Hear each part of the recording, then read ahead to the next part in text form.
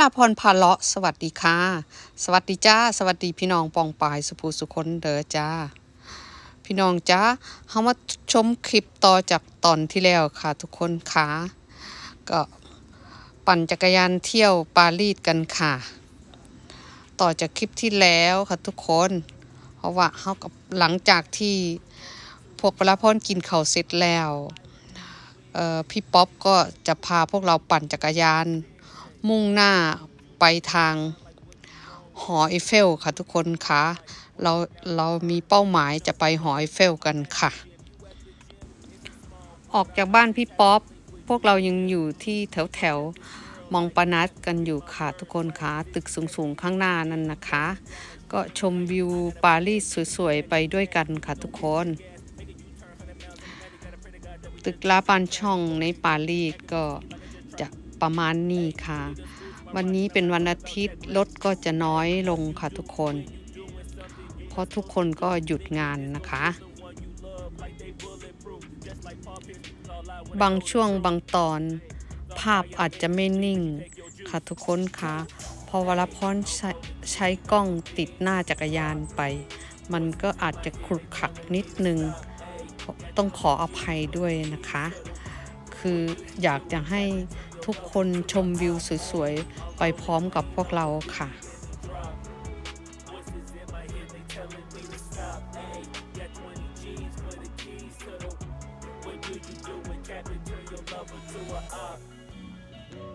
ณตอนนี้พวกเรากำลังมุ่งหน้าไปไปตรงจุดจุดเดิมก็คือวงกลมใหญ่ ๆ ที่เเป็นวงกลมปลายทางของ เส้นทางสายสีเขียวที่มาจากฝั่งใต้ของปารีสก็คือที่มาจากบ้านวลาพรก็แถวอองโตนี่จนมาถึงปารีสค่ะทุกคนค่ะ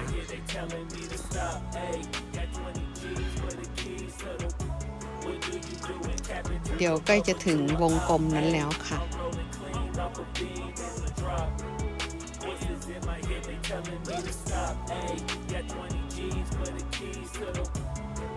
ข้างหน้านั้นเป็นวงกลม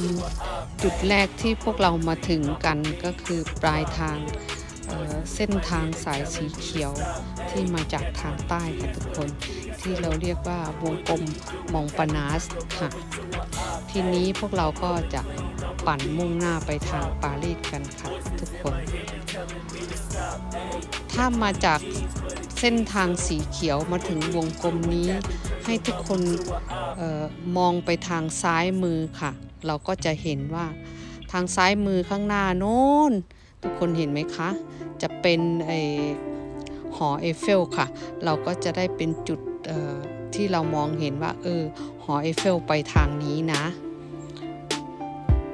ก็คือพอมาถึงวงกลมทุกคนก็ให้ออมองมาทางซ้ายเลยค่ะ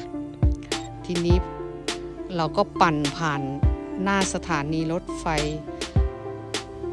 Gare de Montparnasse ไปค่ะทุกคน เพราะว่า Gare de Montparnasse มันเป็นสถานีรถไฟใหญ่มันก็จะมีทางออกหลายทางค่ะทุกคนค่ะก็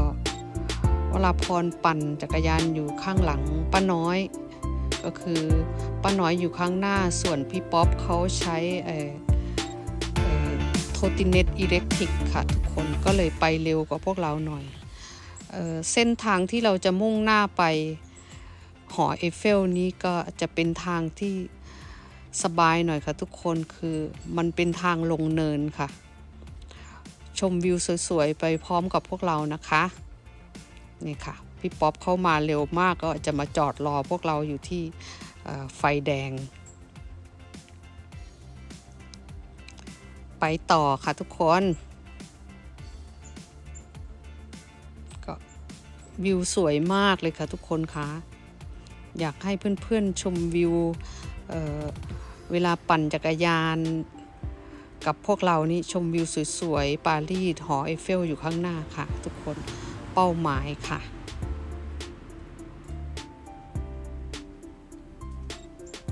ตอนนี้ลงเนินก็สบายมากเลยค่ะทุกคนค่ะ คือไม่ต้องปั่น แต่เวลาพรรถจักรยานวราพรก็เบรกไม่ค่อยดีก็จะแบบกลัวนิดนึงก็เลยปล่อยให้พวกพี่ๆเขาไปก่อนค่ะ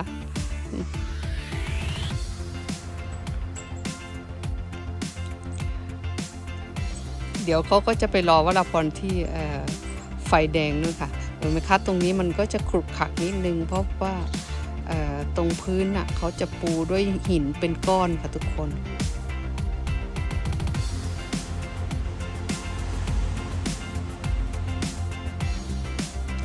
จอดก่อนค่ะ ติดไฟแดงค่ะทุกคนค่ะ ไปต่อค่ะ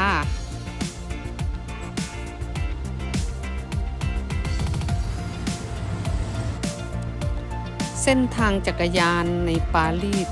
เริ่มสะดวกสบายขึ้นกับทุกคน เดี๋ยวนี้ผู้คนที่อาศัยอยู่ในปารีสบางคนเขาก็ใช้จักรยานไปทำงานกันค่ะสองคนนี้ปั่นเร็วมากมารอเราที่ไฟแดงอีกแล้ว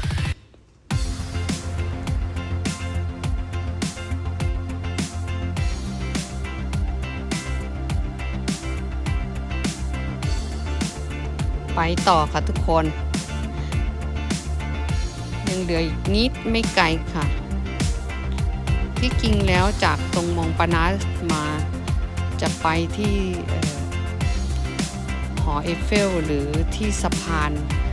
บีอาเกนนั้นก็เราปั่นจักรยานไป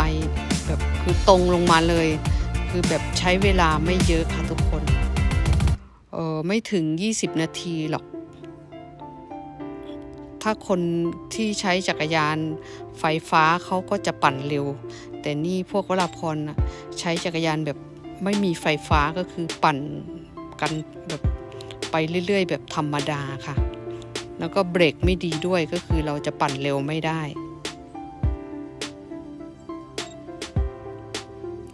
พอมาถึงตรงนี้อยู่ด้านฝั่งขวามือของวราพรก็จะมองเห็นเป็นเอ่อ ที่เรียกว่าอาวาลิสแล้วก็ที่เป็นพิพิธภัณฑ์ที่เก็บพวกปืนพวกอะไรนะทุกคนคะทีนี้ก็ ใกล้จะถึงแล้วค่ะทุกคนเพราะว่าเริ่มเห็นเป็นสะพานก็คือเป็นทางรถไฟสะพานด้านซ้ายมือของวราพรนะคะ คือเป็นทางรถไฟสาย 6 ที่หลายๆ คน จะต้องใช้เดินทางมามาชมหอเอฟเฟลก็คือต้องขึ้นรถไฟสาย 6 ค่ะทุกคน หยุดที่ไฟแดงอีกแล้ว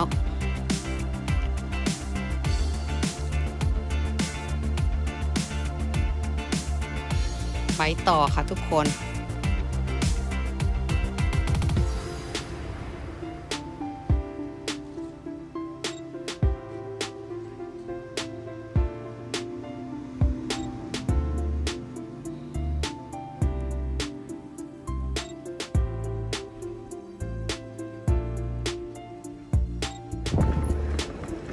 มายเราอยู่ข้างหน้าก็คือ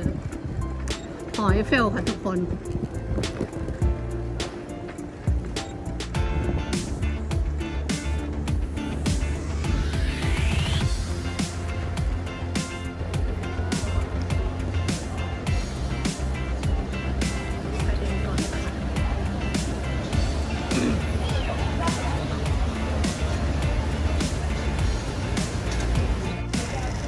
วันนี้อากาศดีมากเลยค่ะทุกคนคะคนฝรั่งเศสก็จะมานั่งดื่มกาแฟข้างนอกกัน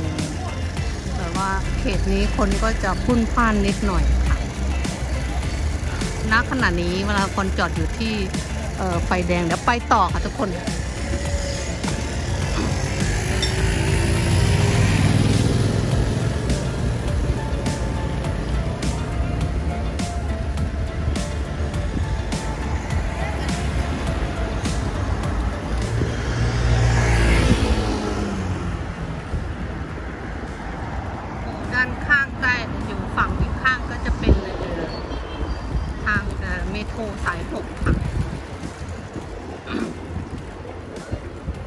่งทางซ้ายมือของวรพรนะคะทุกคน เพราะว่าก็จะเป็นลิงก์เมโทรสายหกแต่วรพรหมุนกล้องให้ไม่ได้ก็ ตรงนี้ก็รู้สึกว่าเขาจะมีตลาดอยู่ข้างใต้สะพานทางรถไฟมีตลาดสดแต่เขาเก็บไปแล้ว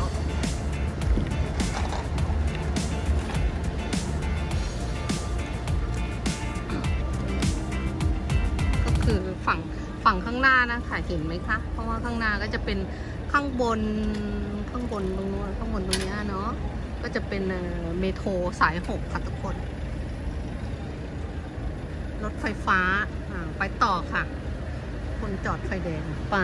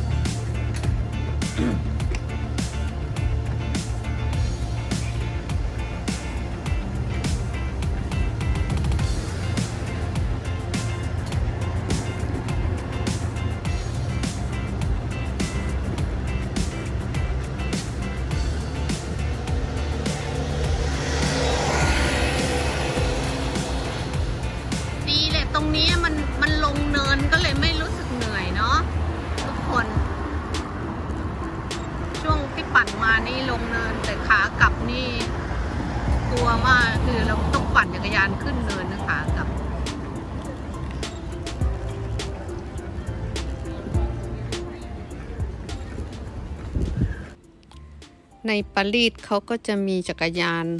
จอดไว้ให้คนเช่าปั่นกันค่ะ เป็นจักรยานไฟฟ้าค่ะทุกคน ใครที่ต้องการจะปั่นจักรยาน เที่ยวในปารีสเราก็เช่าปั่นได้เลยค่ะจะถึงแม่น้ำเซนแล้วค่ะทุกคนค่ะ ตรงนี้ก็จะมีคนพุ่นพล่านเพราะว่านักท่องเที่ยวเยอะตรงเนี้ย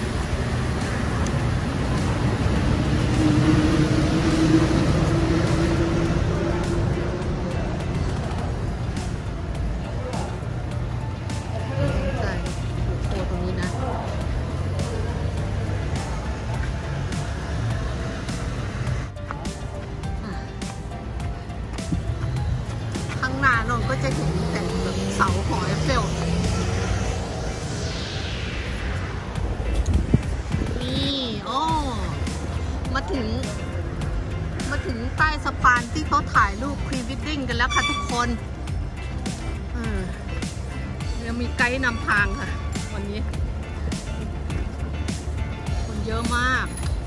อากาศดีอะ ข้างหน้านะเห็นไหมคะเป้าหมายเราเนี่ยหอไอเฟลอยู่ตรงอยู่ข้างหน้าคนทางค่ะ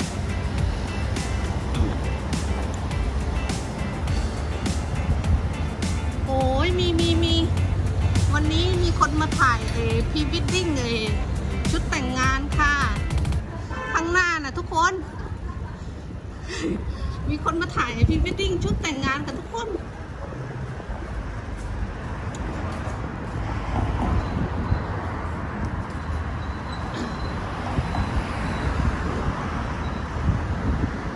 เ